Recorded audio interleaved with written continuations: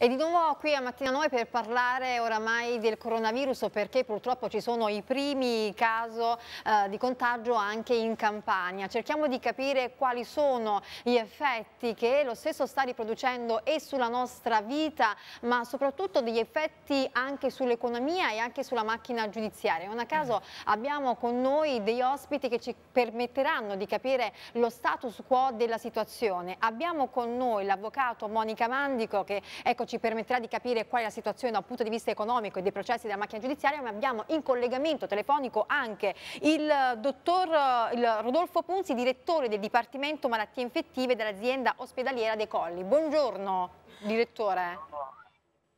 Buongiorno.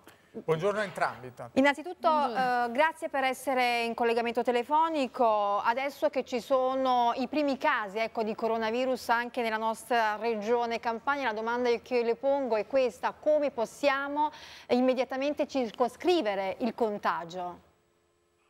Beh, eh, è da chiarire innanzitutto che i casi che abbiamo sono casi da importazione, il che vuol dire che sono pazienti che si sono, se Adesso parliamo di casi probabili. Il caso confermato siamo in attesa del test del, dell'Istituto di Sanità. Ma se fossero confermati, probabilmente lo saranno, sono casi di da importazione. Vuol dire che non c'è stata trasmissione nella nostra eh, comunità, nella nostra regione, ma il contagio è avvenuto al di fuori della nostra regione. Questo per adesso ci tranquillizza abbastanza perché vuol dire che non c'è trasmissione di virus qui da noi e auguriamoci che non ci sia. Le misure di igiene pubblica sono quelle ovviamente di mettere in quarantena tutti i pazienti che sono stati a contatto con eh, i pazienti che hanno il tampone positivo.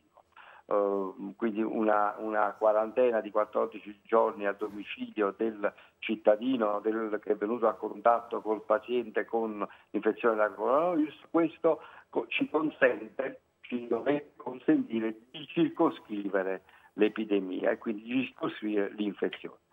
Senta, Poi ci sono dei consigli come, come eh, ormai credo che i cittadini napoletani siano ormai, eh, come dire, assolutamente convinti di alcune cose che sono quelle per esempio di lavare frequentemente le mani, ove possibile, ove possibile evitare eh, ambienti estremamente affollati. Sì, stiamo e, mostrando, e, ecco direttore, il decalogo proprio dei comportamenti da adottare sì, in questi giorni. Certo. Il problema è questo, ecco, rassicurare la popolazione perché adesso si teme che possa aumentare in maniera subitanea il numero dei contagi. C'è questa preoccupazione? Eh, io, io sì. ringrazio innanzitutto voi tutti che su queste trasmissioni ci date la possibilità di rasserenare un po' gli animi dei cittadini che vengono bombardati da notizie che spesso e volentieri sono di tipo allarmistico. Noi stiamo parlando, come, come diceva qualche, qualche clinico qualche giorno fa, di una superinfluenza, non è che stiamo parlando di una malattia con chissà quale tasso di letalità. Sì. Innanzitutto avete presente che l'80% delle persone che si infettano hanno delle patologie se non asintomatiche, pochissimo sintomatiche, quindi parliamo di una sindrome dove diciamo influenza-like, simile all'influenza.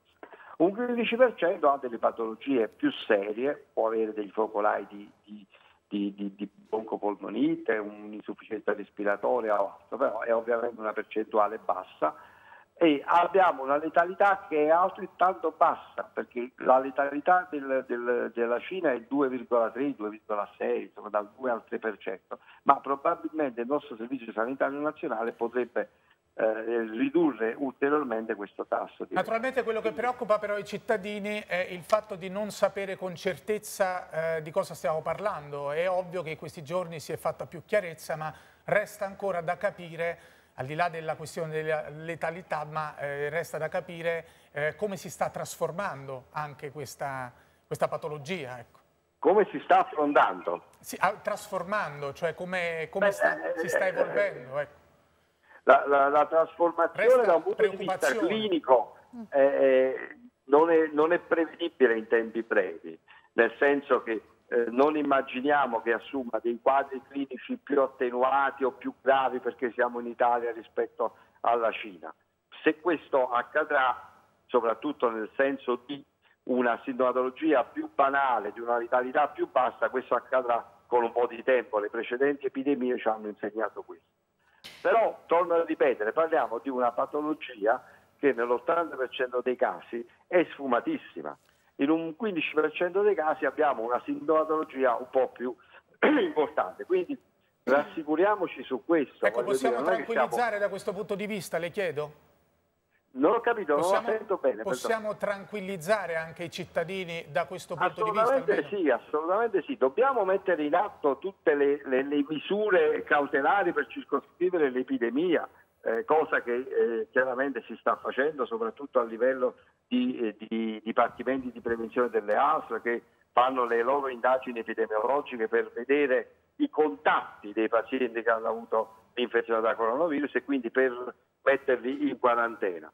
Eh, noi come diciamo, ospedali, ospedale Cotugno, stiamo cercando di, di, di, dire, di, accelerare anche i tempi per quelli che sono le attese per i tamponi, stiamo ricoverando i pazienti anche solo nel sospetto e ovviamente però quando il sospetto è, è, è negativo lo rimettiamo abbastanza precocemente. Però se lei mi dà un 30 secondi giusto per dire quello che non bisogna fare non bisogna correre in ospedale in caso di sintomatologia, bisogna chiamare il proprio medico di famiglia, anche solo telefonicamente, raccontargli la sintomatologia, raccontargli se ci sono stati viaggi nelle zone a rischio per uh, infezione da coronavirus e il medico di famiglia deciderà, ovviamente consiglierà o meno al paziente se recarsi in ospedale o meno, altrimenti rischiamo di ingolfare i pronto soccorsi, insomma, certo. creando solamente un disagio a tutti. Quindi eh, il, la necessità, il sospetto di da coronavirus ha necessità di due criteri, di due indizi per fare il sospetto. Uno che ci sia la sintomatologia, che può essere banale ma può essere anche importante, ma poi soprattutto il dato più importante è il criterio epidemiologico, cioè essere stato in una delle zone cosiddette rosse in Italia, lei sa la cintura dell'Odigiano, un, due paesi nel Veneto o essere stati in Cina, solo in questo caso qui bisogna diciamo, fare i tamponi per verificare se c'è o meno l'infezione. Grazie per... che si abbia anche la sintomatologia. Grazie per le precisazioni puntuali e per questo collegamento per noi molto prezioso, quindi grazie ancora al direttore Rodolfo Punzi. Grazie, grazie a loro per l'opportunità che ci danno di... Poi per qualsiasi aggiornamento lei eh, sarà qui con noi per ecco, qualsiasi informazione, grazie ancora.